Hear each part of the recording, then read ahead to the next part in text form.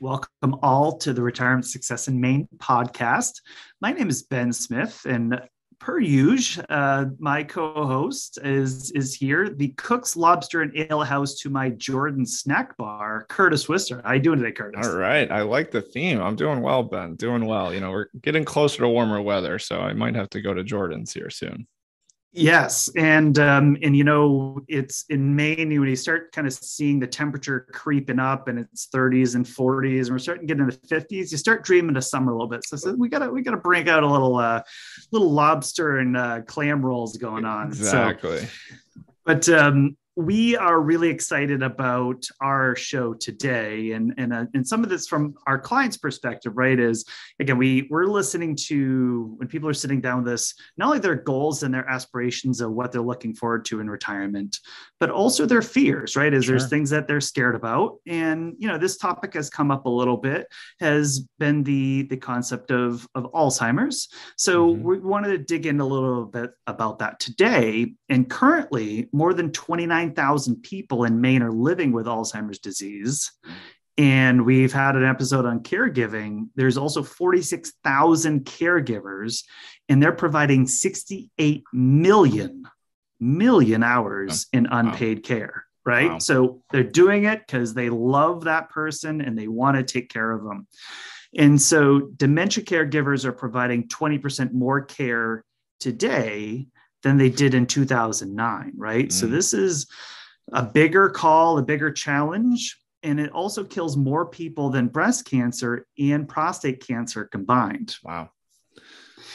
And if you kind of look through, so Alzheimer's and dementia deaths have increased by 16% during the COVID-19 pandemic. And I know there's there's lots of challenges around um, uh, getting care and caregiving and uh, and assisted living and nursing facilities. So that that was the big challenge, which I think is we're obviously seeing some ramifications of today. Mm. And some of our longtime listeners of, of our show might remember we had an awesome conversation way back in episode eight. And I know we, when we say way back, we're, we're in our 60s now. So right. you go way back to eight with uh, Dr. Cliff Singer of Northern Light Health at Acadia Hospital. We had this conversation about breaking down normal cognitive decline. Mm-hmm versus what is more serious. Mm-hmm. But we wanted to talk about Alzheimer's specifically, and and then also what's happening um, in uh, with Alzheimer's in the state of Maine. So that that's kind of the premise of our show today.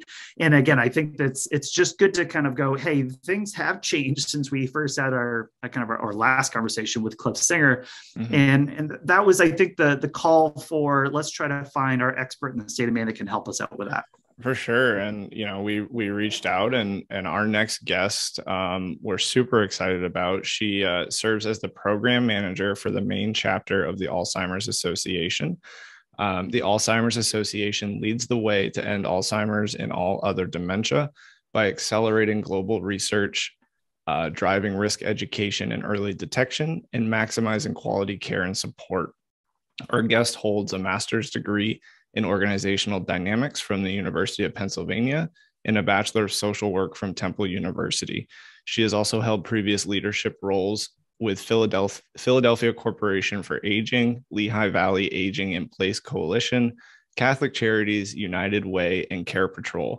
She is also a certified end of life doula, Reiki master, and a certified yoga instructor. So, with that background, I would love to welcome Amy Angelo to the Retirement Success in Maine podcast. Amy, thank you so much for joining us today. Thank you for having me. So, Amy, well, we are we have lots to talk about around the Alzheimer's Association and what what you're seeing and and and especially within nationally in the state of Maine. But also, we we always want to get to know you a little bit, right? Is um, right. hear a little bit about your story. So, love for you to just kind of share with us to start a little bit about your childhood, where you grew up, and kind of your career path here because you you have touched on lots of different areas in your career. It looks like. Hey, yes, I have. However, um, most of it has been in the older adult field. Um, you know, first off, I, I was born and raised in a small town in Pennsylvania. Um, I was an only child to parents who at the time had me, I guess, would be considered later in life. Mm-hmm. um, maybe not so much so today. Um, I uh, I was really close, you know, with my with my maternal grandmother, and I I would deliver home deliver meals with my mom growing up. I loved doing that. And yeah, so then fast forward, gosh, I went to college. I studied social work. Um, I did an internship at the Philadelphia Corporation for Aging. Mm-hmm. And, you know, that's one of Pennsylvania's area agency on agings. Um, I think I found my passion really there, uh, working with with older adults and providing services to them and their support systems. Um, you know, then I went to work in a nursing and rehab center hmm. for a few years before uh, going to work for the PACE program, which stands for Program of All Inclusive Care for the Elderly. And I was with two different PACE programs over 12 years doing marketing and business development. And um, really that's just an amazing program that helps to keep older adults living in the community um, and then uh, gosh what did i do next i went to work for the united way um, in the lehigh valley area of pennsylvania first with their gatekeeper program educating organizations and companies on how to recognize the needs of seniors. Um, and then I became the director of healthy aging and food access for them. And then my last position before joining the Alzheimer's Association was with um, one of the largest national senior care advisory companies as a business consultant. Awesome. Well, in, in Amy, it sounds like, as well as, as you kind of said, there's a nice through thread that you have there relative to this aging population. So I will say from a gravitational pull, I could see why Maine had this pull for you just because of obviously we have, you know, one of the oldest states in the nation. We have a big need for, I think, help within the state of Maine around an aging. And I think actually I think that's where we got introduced to each other was through the Maine Council of Aging. So our, our organization joined and uh, got introduced to the, the Alzheimer's Association of uh, Maine chapter that way. So pretty cool uh, kind of connections is getting kind of joint passions together and finding ways to collaborate there. Yeah, it's been great. Um, Amy, I want to ask kind of so what's been your personal experience with Alzheimer's and you know why are you so passionate about helping those afflicted by the disease or helping a loved one who has it? Sure. Okay. well, gosh, going back to my childhood again, my first experience with Alzheimer's was when my grandmother was diagnosed with it. And I think I was in about sixth grade. She was around 80 years old. Um, you know, I got to see the progression of the disease mm-hmm. and I saw how she became less and less able to do for herself. Um, you know, it was particularly noticeable because my grandma was uh, fiercely independent. she eventually came to live with us, with me and my parents, and you know, it really did become unsafe for her to live by herself. Um, and yeah, I saw the the toll that caregiving took on my mom and my parents, um, and even affected you know me. It was kind of traumatizing to see um, the de- the decline and um, you know what everybody was going through. Um, i got to see you know my grandma become more and more confused and paranoid. Um, she would sneak out of the house mm. and often we get called by our church parish because mm-hmm. the police would pick her up wow. and the only person person's name that she would remember was our priests um, you know, she mm. didn't know to to say our names or mm-hmm. she didn't know where she lived but she knew her priest and so the priest would be called and then he would call us and that happened a number of times even though we were in the house with her and you know we thought we were taking all the precautions and apparently not. Um, so it was really upsetting you know to witness this as a child. Um, and then later um, as an adult then it became obvious that my father was exhibiting signs of dementia. Um, my mother was in was in complete denial. mm. um, and I now had like some experience around this, some professional experience. So I, w- I worked with her, um, tried to work with her to uh, get some services and make a plan. And then after my mom passed away, my father came to live with me. He moved in with me and I became the primary caregiver. Um, he eventually joined the PACE program, which is where I had worked. Mm-hmm. And that allowed me to still work full time. And it allowed him to stay at home, sure. you know, as opposed to going into a nursing home. Um, and he would still get the care and all the socialization that he needed. So that was that was great. But then um, as he was entering his the late stage of the disease, he was diagnosed with bladder cancer and he passed mm. away short four months afterwards. So mm. I have the the firsthand experience, both personally and professionally, yeah. of how the disease affects people. You know, um, for both the person and the diagnosis with the caregivers, it could be very stressful. It could be you could feel very isolated, um, like you're going through it alone. You know, so um, I just wish that our family had known about all the resources that the Alzheimer's Association provided for free, mm-hmm. you know, um, at the time, because we would have educated ourselves more on the disease and we would have been able to lean on the experts and, um, you know, access a support group, you know, the educational programs and just really get that support that we needed. And, and Amy, I think that's that's um, that that's really awesome. Thank you for sh- kind of sharing that because I know yeah. it's, it's obviously really difficult to to kind of go through that. And uh, I, I had a similar experience with my grandmother as well as kind of seeing that decline, and it was it was slow, then all of a sudden very rapid mm-hmm. um, decline, kind of all at once. And um, it just just kind of from the family perspective and trying to figure out who's taking care of her and how we're all filling in. And uh, so you know when we talked about the caregiver role is is what we want to talk about today in addition to hey if if that diagnosis is me right? And and and here's what does this mean for me personally as as we go through that? And in addition to to what you just said is look here's resources out there. You are not alone. You have you have organizations here to support you. You just need to raise your hand and say hey i need help. Mm-hmm. and that's what we wanted to go into a lot today. So i want to ask you just directly about the alzheimer's association.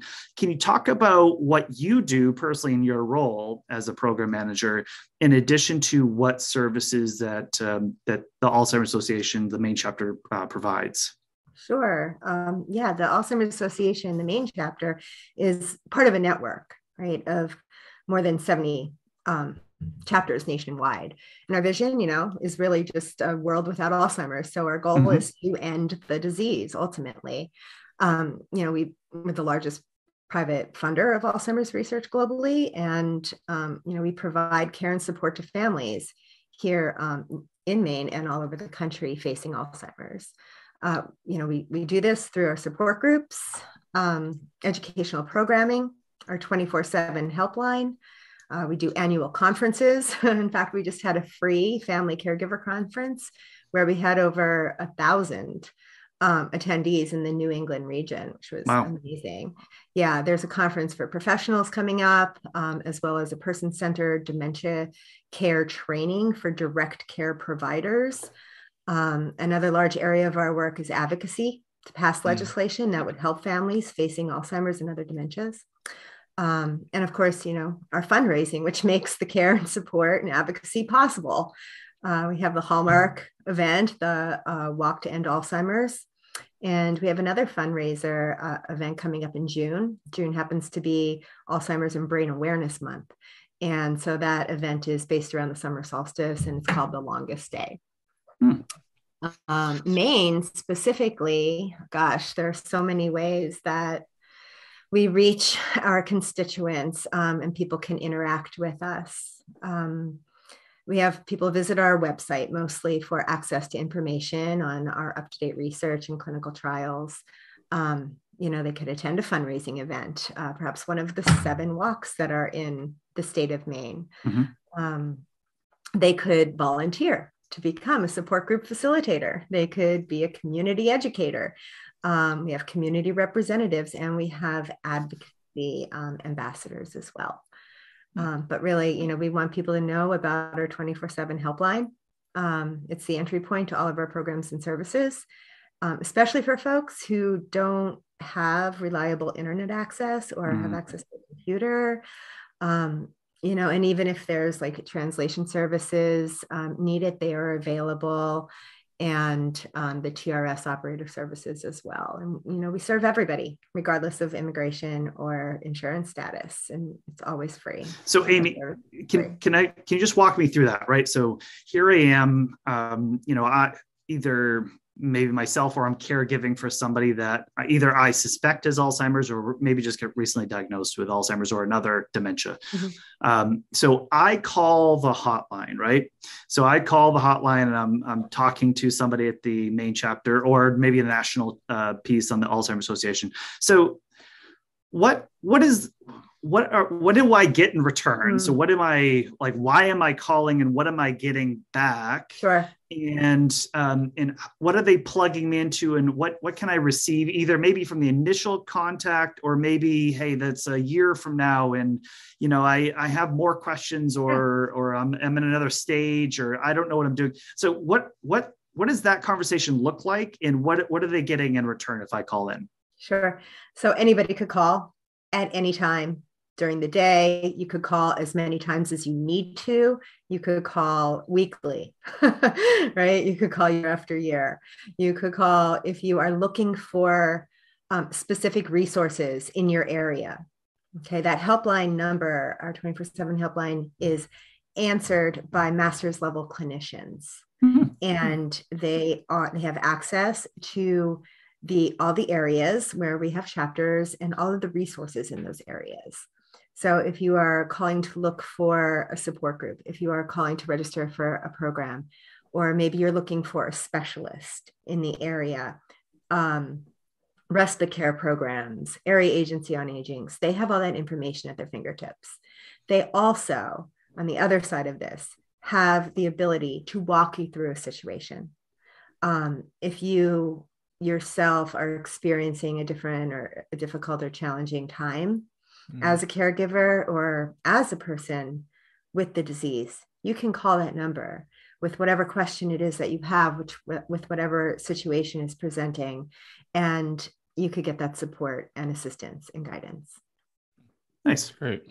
Um, so, Amy, I want to kind of keep going with our conversation here and really dive into the topic today, which is obviously yeah. Alzheimer's. Um, mm-hmm. So, just kind of a foundational question, I guess. So, obviously, there's a bunch of uh, brain related illnesses out there. Um, we hear terms that just we feel like the common lingo just kind of gets lumped into mental decline, right? So, can you just kind of take a minute and help us understand Alzheimer's and its relationship with dementia?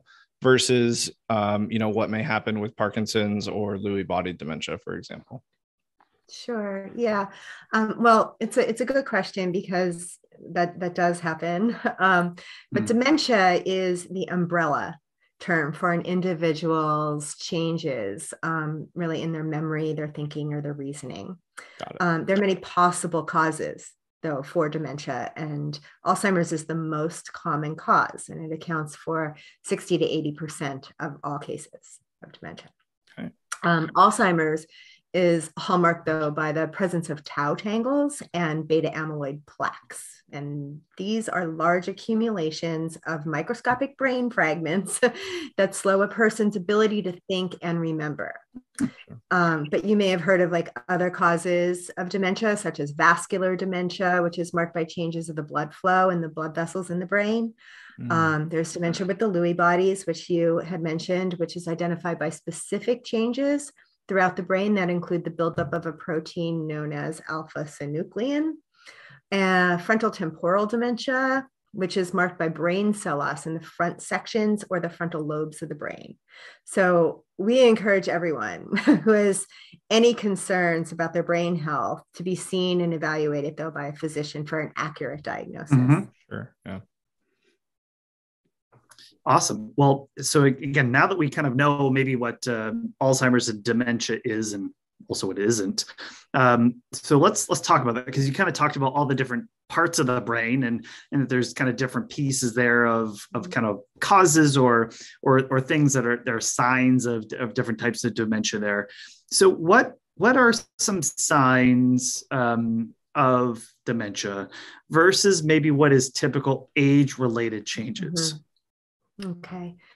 Yeah. So, um, gosh, the signs are really, it, it's what, it's what changes um, that in the changes that occur that interfere with your daily activities right it's it's memory loss that interrupts your daily life you know versus forgetting a name or an, mm-hmm. an appointment or like remembering it a little later right for instance um gosh you could have a daily route to the store to your church or something that you've taken for years and then suddenly one day you don't remember how to get there or you get mm-hmm. lost going there right? That's a sign. Um, it could be challenges with planning or solving problems. So for example that could be managing your finances. Um, something that you you used to be quite competent in and now you cannot complete that task um, it could be confusion with time or place or season, you know, versus forgetting the date, you know, occasionally. Mm-hmm. We all do that. Mm-hmm. Um, it could even be difficulty in understanding visual images and spatial relationships, right? And versus cataracts. You know, mm, is there yeah. something physical physical right. going on?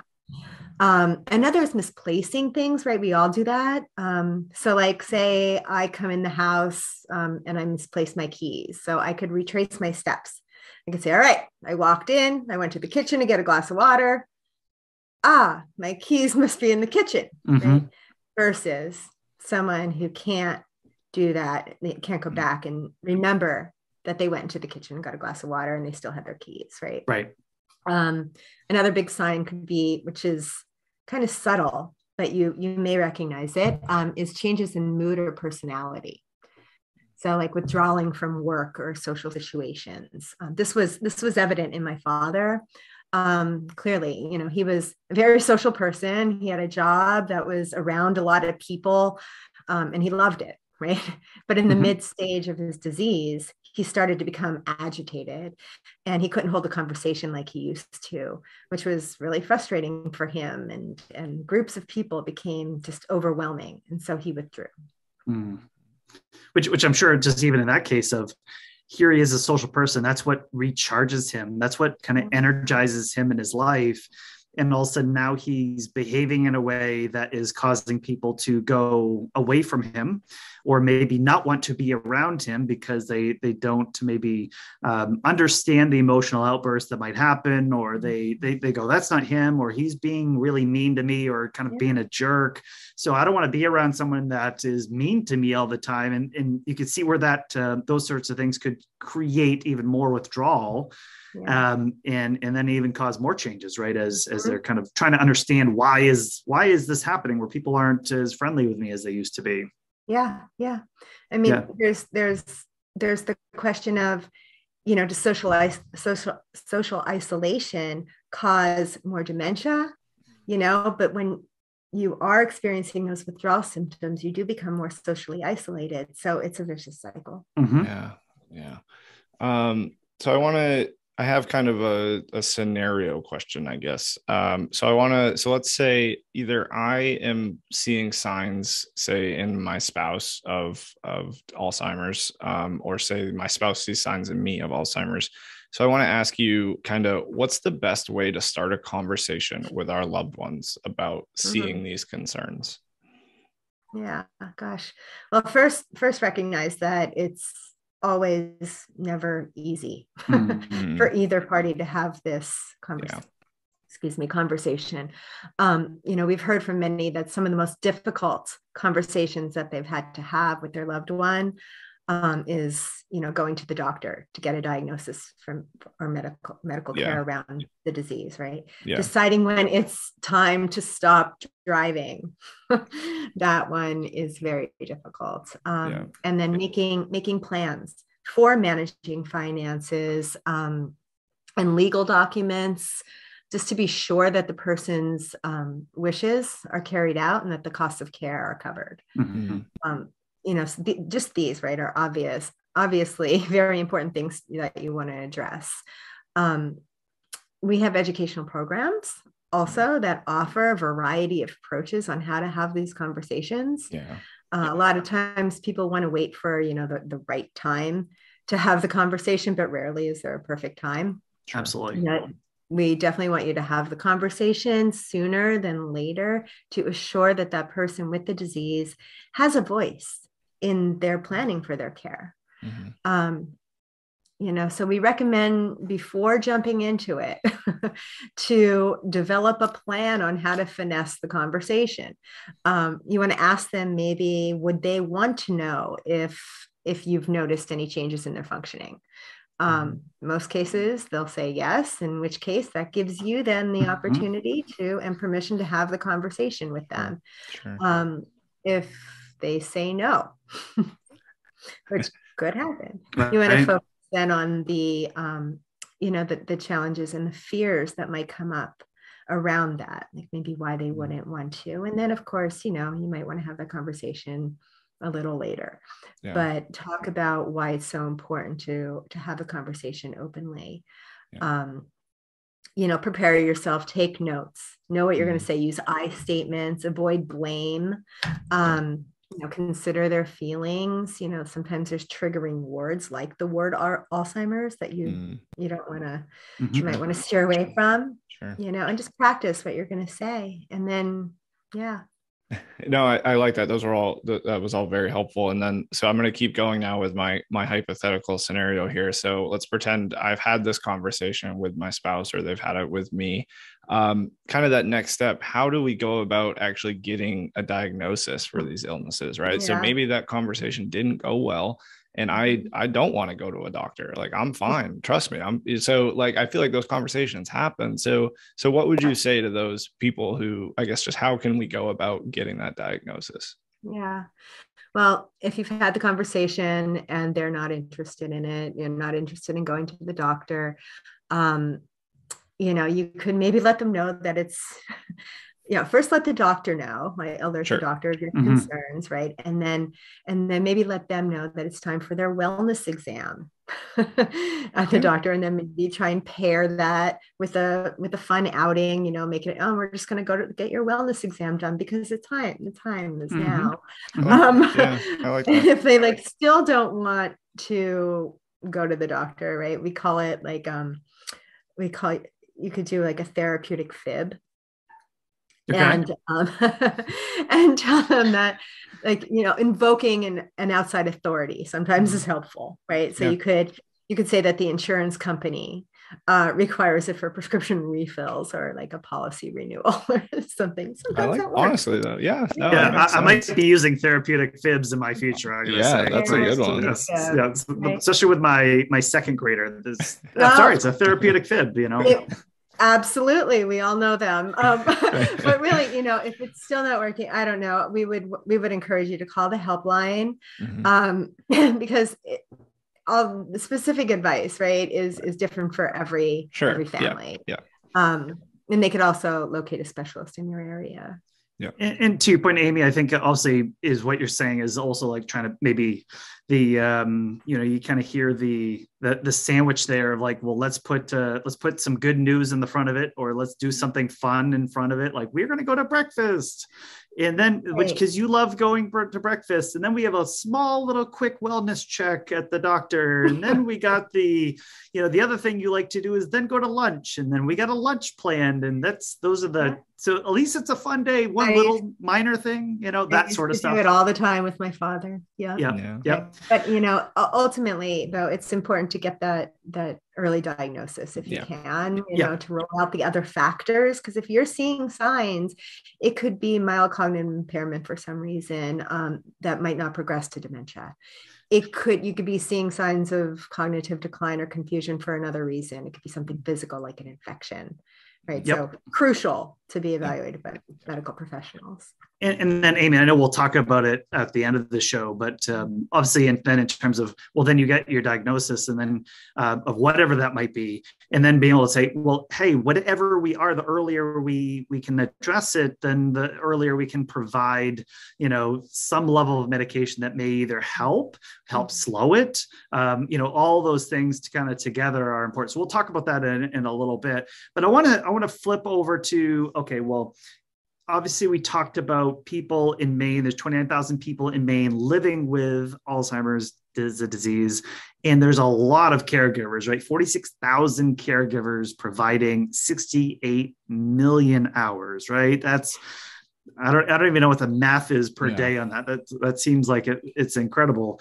So uh, so if I'm a caregiver here, so let's talk about all right, let's talk about the caregivers out in the audience and what are some things that they would want to know about understanding and responding to dementia related behaviors. And I want to keep going here with not only just that, but what's the best way to now arm myself with knowledge of good tactics or tactics maybe that I want to steer away from when helping a loved one with a diagnosis?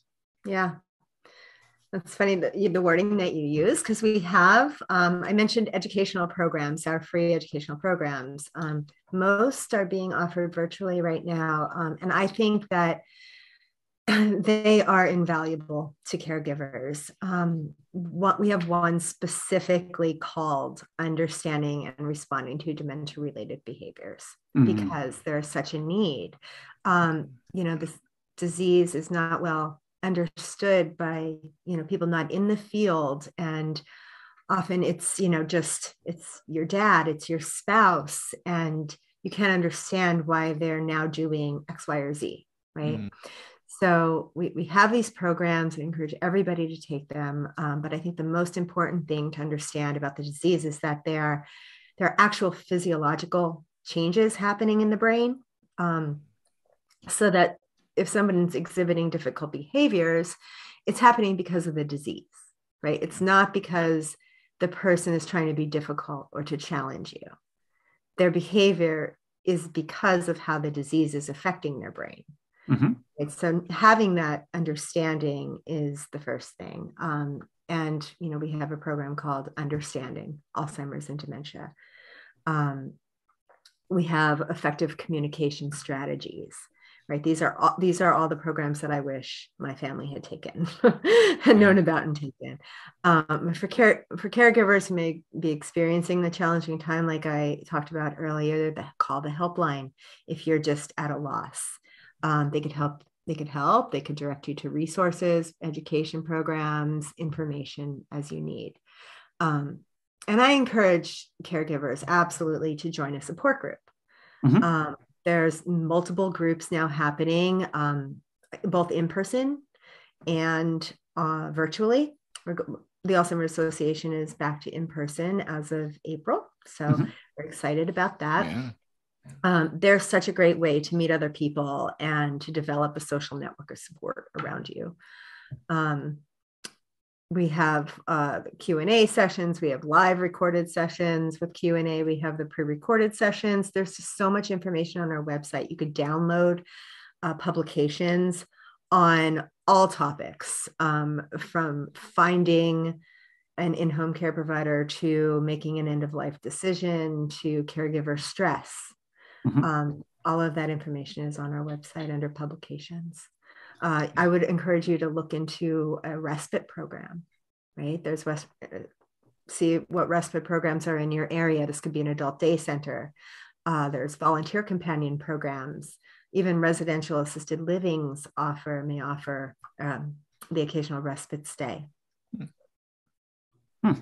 Um, well, and I, I know that obviously from a from a caregiving perspective, and I know what you just said, Amy, is we I think we the the big underline we want to take today is it feels like the feedback we get is that um, that the the folks that are caregiving to to the loved one it feels they're siloed. They feel alone. They feel not trained right? They like I, I was a you know i'm good at cooking or i'm good at um, i'm I, I, was a program manager. I was a banker. I was uh, you know i was in retail my whole life. I've never been trained Mm-hmm. how to help a loved one with a diagnosis and take care of them 24 7 that's not something that i know how to so I, I think all the things that you just said is not just from a even just communication but also what does it mean to be a caregiver in those support groups. We talked all the way back in episode two with diane walsh at the eastern area agency on aging um, and I know she's we have a new executive director there uh, now as well. But that's something we're talking about. Hey, support groups and saying, hey, I'm i'm just starting this role and i don't know what i'm doing mm-hmm. yeah. and having other people there's like oh i was there and this is what i went through yeah. and these are things that i went to do and these are local things that i i found was very useful or i talked to those people and they they weren't as useful all of those things i think are really helpful to go you're not alone you are you know you can find support either just from you as a caregiver of i feel guilty i feel like if i go to the movies and take a two hour break that i feel like i'm letting my loved one down because i'm taking two hours for myself mm-hmm. all of those feelings and all those kind of things that we're all battling with as caregivers I, I, see all the value is is just uh, probably way more than ever. You, I know it's all free, but you know that you could ever even charge just because of what you're giving, getting back from the caregiving perspective. So I want to I want to ask just another question though on on the other side is what if I can't be a caregiver directly myself, mm-hmm. right? I have maybe other responsibilities. Maybe I'm in Phoenix, Arizona, and my dad is in Bangor, Maine, yeah. and I need to have someone take care of him. But it's only me. I'm the only person, the family member in his life that would would help, but I can't be there for whatever reason. Yeah. What what sort of things could someone do to kind of find support for someone that they love if they couldn't do that role personally? Yeah. Um, the first point of entry usually always is to contact the local area agency on aging. There are okay. five here in Maine. They're all over the country. Um, there are some that cover specific counties or more than one county at once, but um, you could go to your Department of Health website and or Department of um, uh, Health and Human Services. Oh, older. It's different in every okay. state, but yeah, it could it could be Health and Human Services. It could be Department of Aging. Um, mm-hmm. But check out those websites and locate your local area agency on aging. They have lists of resources. Um, they could mail you information. They have programs which you might be eligible for. Um, there's um, many of them have wait lists, but many of them do not. Um, they could direct you to uh, different respite programs, different daycare centers, um, you know, even in home care agencies, because that's an mm. option as well. I know, like, you know, labor with the pandemic has been a little difficult. However, yeah. there, mm-hmm. there are a lot of agencies that have maintained their caring staff and are doing a lot to keep, you know, to keep them. And, um, you know, because they really they understand the value that that they provide um, to, to, caregivers. Um, so a lot of those in-home care agencies can offer flexible hours, can give you respite. Um, if you are out of state, can be the person to you know care for your loved one in the home unless it becomes unsafe um, mm-hmm. and in which case then there are um, assisted living facilities, uh, boarding homes, and, and, nursing facilities that are here for that reason. Um, but more for more specific resources in your area, you know, you could always call our helpline as well. They know. That's great. Um, so I want to kind of flip the script a little bit. So I know we're we just spent a lot of time talking about caregivers um, and caregiving. So I want to go back to being the uh, the individual with an Alzheimer's diagnosis. Mm-hmm. Um, just what does that like mean for me? What is my future of living with that disease? If you could kind of talk about maybe the early, mid, and then late stages of living with Alzheimer's. Sure. Well, first, I just want to say that there could be a stigma, right, with the disease. Sure. Um, so we really want people to understand that life is not over after you receive a diagnosis. Uh, you could still live a full and meaningful life, you know, with some adjusted expectations. Um, it's very important in the beginning once when you first get the diagnosis to, to start to build that support team around you you know your friends your family your neighbors your physicians. Um, you know connect with the local alzheimer's association arm yourself with those resources right mm-hmm. up front. Um, start taking the educational programs join a support group for early stage. Um, you know start to connect with those who like like you said have been through it um, who are going through it many areas we have early stage social engagement programs that you could get involved in um, but like in the beginning yeah stay active, um, you know, continue to eat healthy, make sure that there's a plan in place. Um, you know, you might have trouble, you know, in early stages, you know, finding the right word or, you know, forgetting things from time to time or forgetting how to get from place to place. Um, you know, faces become, you know, unfamiliar at times or they can't replace a face with a name mid stages, you start to withdraw a little bit, more agitation, things become a lot more difficult. Um, mm. And in late stages, you need more care. Usually, you can't be left alone, and you do need um, the supervision and support of those around you. Um, you know, we, we just advise staying healthy, um, you know, active, eating healthy, yeah. Um, getting the plan in place that addresses your financial emotional, yeah. social, physical needs, right? Yeah. Um, and use the resources and support available to you to stay positive. You know, the most, the more planning you do up front, the better you are. Mm-hmm. Amy, that's uh, I think those are really awesome tips, especially for early, mid, and late there. Yeah. Um, and you kind of raised up um, a point that I want to ask about, mm-hmm. is because uh, you kind of hear the myths a little bit, right? And you, you hear myths and lots of different things like you know you can't sit um, you know again i'm talking my my 10 year old you can't sit two feet away from the television otherwise you're going to go blind. You, you, can't do that. So you know things that we hear in terms of myths and one thing from this end is we hear a lot of i need to keep busy. And if mm. I don't keep busy with hobbies, work, social, if I stop and I just sit and watch TV today or and I hang out, I'm just going to develop Alzheimer's and I'm just going to um, kind of wither away. Hmm. So true or false? I know you said a little bit of it, so I want to see about like what what would you respond to that statement?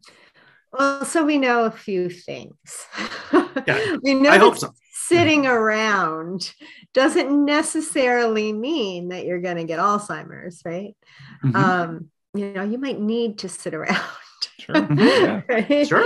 You might need to take a rest. Um, we do know that Alzheimer's, though, is not a normal part of aging. Mm-hmm. Okay. And we know that living a full and active lifestyle, though, is known to reduce risk. Mm-hmm. Doesn't mean it absolutely will, right? And doesn't mean if you yeah. do sit around, it's it's just not it's going to definitely happen to you, right? Yeah. Um, I would say not to put too much um, into the myths that you hear, but really, you know, do what you know is good for you. Mm-hmm. right? Um, if you feel you need to sit around and rest, then maybe that's what your body needs, right? Mm-hmm. Um, but if you feel like you're being lazy and your mind isn't being active, then get up and go do something engaging. Yeah. Yeah.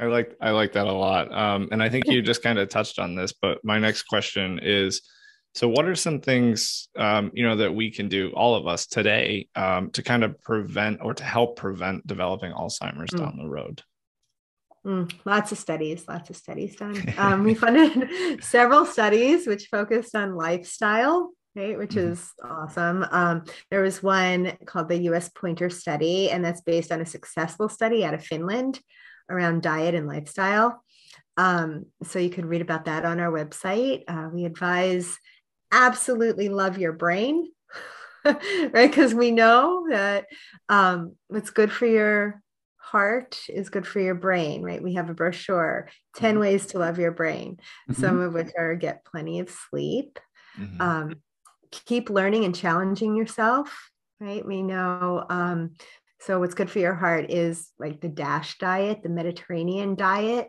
hmm. um, exercise. You know, break a sweat every day. Um, don't smoke. mm-hmm. yeah. So yeah, just uh, stay active and and be healthy. Hmm. you know. Uh, and, and so, Amy, I, I guess want to ask about so today, right? And and we talked about also from 2009 to now that we're seeing more kind of caregiving happening, and it seems like there's kind of some and and again from anecdotally as financial planners right we are looking at that people are looking to live longer that they are doing some of the things that you're saying right? The message is getting through and we're as a society hopefully maybe there's there's things we are doing a little bit better um, you know maybe there's things we aren't doing better but maybe there's things we are and that's leading to uh, us to live longer lives and and perhaps living longer lives might lead to maybe some more brain health issues uh, over time as well so what do you see coming in the horizon here mm-hmm. from not only just kind of where we are in the in kind of the the mental um, health perspective and and dementia alzheimer's like where are we? Are we getting worse? Are we getting better? But also what are what are you seeing new advances happening right now around treatment? Because i think those two things kind of go hand in hand. Yeah it's a it's a super exciting time right now in research around this. Um, mm-hmm. you know as you may you may know there are plenty of drugs that have treated the symptoms of dementia and Alzheimer's, mm-hmm. right? Mm-hmm. Um, they've been around for quite some time. You know, however, the first drug to address the underlying pathology of the disease was approved by the FDA this past June, called Aduhelm. Mm. Um, it's a bit contentious though because the CMS decision um, limits coverage of it. You know, but but it's a beginning. Mm-hmm. Yeah. You know, it's not perfect. It's a beginning, and there are also drugs, other drugs that are in clinical trials right now. Um, they're called the monoclonal amyloid bonding drugs. Mm. They are um, they're in the pipeline and they're showing promise for future treatments. So very exciting stuff. And because there's so much going on, um, it's continually develop, developing and changing. Um, we host a research page on our alz.org website uh, with loads of information related to uh, the research that we fund and the current clinical trials. So I hmm. would advise just to um, check that out, and you could read all about the um, the current research, um, everything that's being done um, in the in the field right now. And, and Amy, just kind of tying it together, because I think you kind of said this um, in your intro about the Alzheimer's Association in the Maine chapter, right? It is obviously doing the fundraising and doing all the work not just kind of helping the resource for for people that are um, afflicted with it today and the caregivers that are supporting uh, that population but also is the funding of that is is going to these res- this research it's going to the advancements it's going to that future yeah. and that mission statement that you shared about hey we're, we're dreaming of the day when we've ended uh, yeah. alzheimer's and, and dementia related illnesses so um, kind of it's I, I just always like to bring the two together of hey we're doing all this for a reason and yeah. also is it working and to go hey in june we just had a really great um, uh, treatment that's that's now becoming available and becoming a, um, a, a, start to how we can start addressing some of this not just from the symptom perspective but the root cause and, yeah. and help going that's really exciting i think from a hey we've we, we're starting to see momentum and build and not just yes we got research and we we continue to pay for more research and we're not seeing kind of this over the hump thing. So that's really exciting i think for the entire community there. That, that uh, congratulations to uh, to the entire group. Thank you. Yes i'm more hopeful now than i've ever been. Mm. great. Um, so we've kind of reached the end of our conversation, Amy. I do have one last question for you. Um, so, obviously, the name of our show is Retirement Success in Maine podcast. So, we love to ask all of our guests, regardless of what we talk about for the first bulk of the show, how are you going to find your personal retirement success when you get there? gosh i hope i'm prepared right um, i think being you know being prepared helps anyone be successful in anything yeah. that they want to do right so i put a mm-hmm. lot of value in planning um, i want to hopefully live as with as little stress as possible when i get mm-hmm. to retirement age so i'd like to be as financially savvy now as possible right yeah. um, I because I don't know what the future will hold, sure. you know, for my healthcare. Yeah. I want to assure that I have adequate savings so that um, my end of life care can be planned and, and paid for yeah. um, financially and um, in every way. You know, mm-hmm. I have yeah. wishes um, clearly stated. Um, and certainly, I want to live my life now to the fullest within my means. And I want to live a purpose driven life filled with exercise and great healthy food and meditation and lifelong learning and all the things that we know are good for your brain. Awesome. Fantastic. Well, Amy, we we really can't thank you enough for coming on our show and sharing with us about the Alzheimer's Association, uh, your personal journey, um, and your personal passion for uh, what gets you up in the day. You you really um, you're really a great ambassador um, in lots of different ways to for the community and also for um, everything that uh, the Alzheimer's Association I think really stands for. So thank you so much for sharing it, and um, we really can't uh, thank you enough for coming on, and we'll hope to catch you next time. Oh, thank you so much for having me. It's been wonderful. All right. Take care. you do. So yeah, I think Amy Angelo did an awesome job today, really walking us through um, even just from the Alzheimer's, what it is, dementia, um, what resources are out there. Mm-hmm. Uh, what about the Alzheimer's Association? Going through what if I'm diagnosed? What if somebody I love or I am taking care of is diagnosed? All of those things I think are really pertinent questions that I think um, our population really has a lot of questions on, and hopefully you out there um, also maybe got something out of all those points. Yeah. So, as we always like to wrap up our shows, we always like to take that yellow highlighter, underline something of, of something we personally took away from today's show. So, Curtis, what was uh, what was the lesson you took away from our conversation with Amy?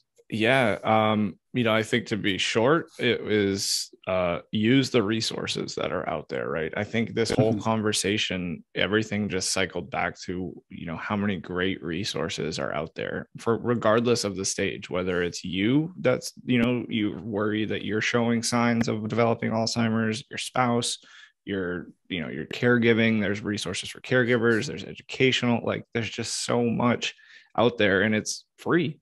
I mean, not like mm-hmm. we were mm-hmm. talking about in the show. It's it's probably worth a lot more than being free, but it's free out there use it mm-hmm. um you know amy talked about she wished she said it a few times she wished that her family had the resources or used resources like this as both her grandmother and her father kind of lived through this. So i just i think to not to not hone in on something specific but i think just the whole conversation of just how important and how useful these resources are to use i think is just a, a big takeaway for me yeah, and, and I know we in, in, our show, right? This has been a theme for us as we we've kind of dabbled in this lots of different ways. And one was, uh, you know, we talked about Dr. Cliff Singer from Norlight uh, Acadia. Hospital, and and so we talked about from the medical uh, yeah. perspective, right? And and I think where we wanted to go with with Amy was a little bit more of the all right, the resources I'm in it perspective, and what does it mean this actual diagnosis, and mm-hmm. what does mm-hmm. it look like, and and that, and and I know in episode 44 we talked to Iris Whiteclair, right, about yeah. hey, I'm a caregiver, and what does it mean to balance taking care of somebody else but i also have my own life to live exactly. and i want to do some things in my life and just because somebody else gets sick doesn't mean that i need to stop progressing in what I am and who I want to be and what I yeah, want to do. Exactly. So all I think all these are are kind of a nice little bridge and a nice little theme about um, kind of a companions to each other about surrounding this conversation, this fear that we get with our clients. So I thought mm-hmm. again, Amy did a did an awesome job with it. Yeah and and kind of going through all that especially with some there's is there's a bright there's a there's a sunrise on the horizon i think around treatment and advances oh, yeah. that are happening which is which is really awesome so we are at episode 62. 62. So we are, I, right. I, think, I think we're officially eligible for Social Security now, right? That's right. We're, That's we're right. 62. I don't know if we're going to claim quite so, yet, but we're there. We're yeah, not, yeah. You know, we, we got to do that analysis, see That's whether right. we should be claiming at 62 or full retirement age or 70. Exactly. But, um, so for those that want to dig in a little bit more to the Alzheimer's Association, you can go to our website, blog.guidancepointllc.com backslash 62 or for 62 uh, the episode. Um, you can check out the resources there and uh, again our transcription will be there as well for if there's anything you want to kind of zoom in on. Yeah. um, feel free. But um, we really appreciate your listenership um, it, it, we're just very privileged and we're very grateful to have you on our um, on our journey with us and kind of uh, staying in tune with us. So, all the best to you. Hope you have a great day today, and we'll catch you next time.